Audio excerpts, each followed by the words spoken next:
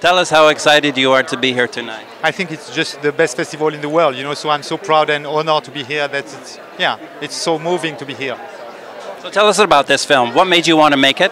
Yeah, I guess it's uh, the meeting between two cultures, two different cultures. That the, the the bottom line of the story, you know, it's one guy coming from Europe and the other one being a Native American, and everything should split them. And strangely enough, a friendship is possible between these two guys belonging to different worlds. That's what moved me so much.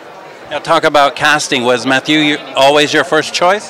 Uh, not the first choice. No, each time I'm doing a casting, you know, but each time I realize that he's the best in France, so that's why I'm working with him again and again and again. You know, I'm just in love with that man, and that's it. You know, but each time I'm testing my love, you know, for him, and each time he wins, you know, because he's the best. And Benicio, how did he get involved?